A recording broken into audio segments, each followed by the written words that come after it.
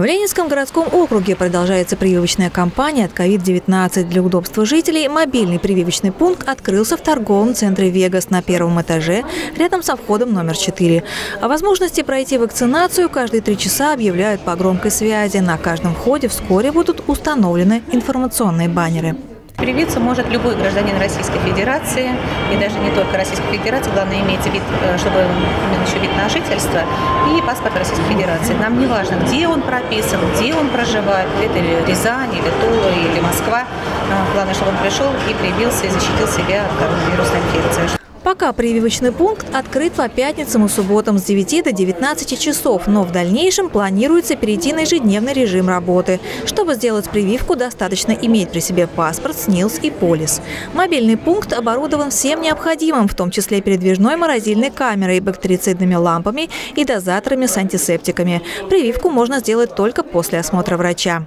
Осматривается пациент, меряем давление, пульс измеряем, а, кислород, насыщаемость, э, смотрим слизистые оболочки, расспрашиваем хронические заболевания, есть ли аллергические реакции. Если противопоказаний нет, желающий привиться проходит за ширму. На всю процедуру уходит в среднем 40 минут укололся и пошел.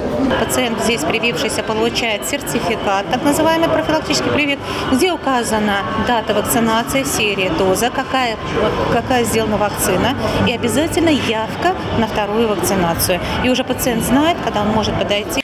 Второй этап вакцинации можно пройти как здесь же, в мобильном пункте, так и в медицинских учреждениях округа, взрослой поликлинике в Видном, южной поликлинике в поселке Дрожжино, а также в Молоковской врачебной амбулатории. Вакцинации э, подлежат все граждане, в том числе особенно с хроническими заболеваниями, имеющие сахарный диабет, там, бронхиальную астму, э, значит, гипертонической болезнь, потому что онкологические заболевания у этих пациентов э, коронавирусная инфекция протекает гораздо тяжелее, с большими осложнениями и с большим поражением легких.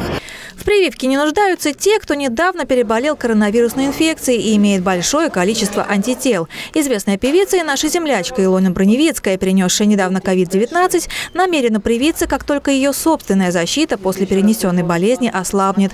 А пока решила помочь другим, став донором плазмы крови.